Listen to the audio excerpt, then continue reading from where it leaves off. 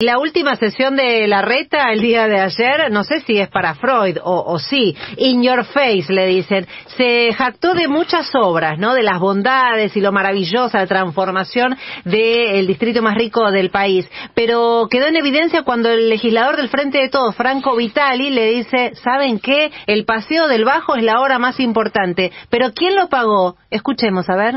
Es el Paseo del Bajo es la obra más de ingeniería más importante de la historia de la ciudad. Gracias al Paseo del Bajo, un camión que podía llegar a tardar horas en cruzar la ciudad, ahora lo hace en 10 minutos.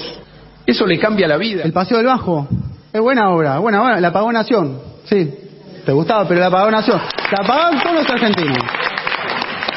Los viaductos, los viaductos están buenos, le solucionaron un montón el tránsito a los vecinos de la zona norte, está buenísimo, porque pasan por pasan por arriba.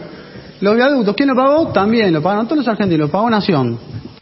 Mira, ahí está. El viaducto, perfecto. El Paseo del Bajo, lo mismo, hermoso. Es la obra más importante de la ciudad. Lo pagamos todos. Pero es tan chanta que él cree que se la van a dejar pasar. Mira qué ocurrencia. Que va a mentir de esa manera adjudicándose algo que hicieron otros. Es un tipo totalmente desvergonzado. Anoche, en el zapping de, de, ver qué estaba pasando en otro canal, estaba mirando Duro de Domar, que va a andar muy bien como programa. Ya me dicen que anoche le fue bárbaro. Está muy bien Dugan en la conducción y algunos de los panelistas están también estupendos, pero además el ritmo del programa y el hecho de que a las nueve y media de la noche tenés ganas de tirar, revolear algo y quedarte a las risas aún con la actualidad política. Pero hice un poquito de zapping a ver contra qué estaba. Y estaba en, en, modo pavote, Rodríguez Larreta, en TN, entrevistado allí, donde no se sabe si le quieren hacer un favor o se lo quieren hacer a Macri, si lo quieren defender, porque él mismo trabaja muy mal de candidato. Es el candidato más tontón que se ha visto. Porque la mayoría de los candidatos, incluido Macri, fueron buenos candidatos. Después gobiernan como gobiernan. Cada cual tendrá su historia. Pero vos cuando candidato tenés que tener otro registro y no se da. Así que volví inmediatamente a Duro de Omar, dije, acá no tengo nada para ver. Bueno, hoy lo, charlábamos fuera del aire, estoy muy de acuerdo con tu análisis, Víctor Hugo. Qué debilidad política que estamos dando la reta. Ya el spot es una enorme falta de conocimiento de mostrar un hombre que puede conducir la Argentina y lo hace en un escenario tormentoso, en un escenario en soledad, en el fin de, con el símbolo del fin del mundo que es como como como el faro, con un discurso de mediocre para abajo. Y ahora que tiene que mostrarse la reta como esa persona que puede conducir los destinos en la Argentina, hace agua en todos lados. Es grave esto que escuchamos recién, ¿eh?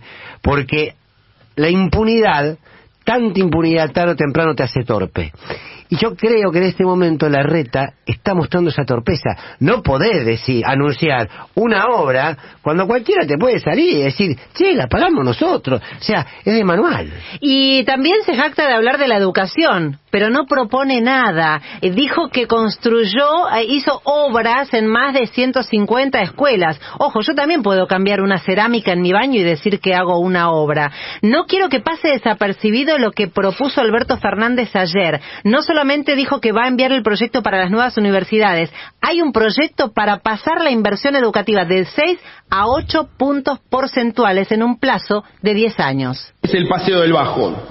Es la obra más de ingeniería más importante de la historia de la ciudad. Gracias al Paseo del Bajo, un camión que podía llegar a tardar horas en cruzar la ciudad, ahora lo hace en 10 minutos.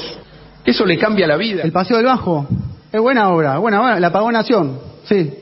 Te gustaba, pero la pagó Nación. La pagaron todos los argentinos.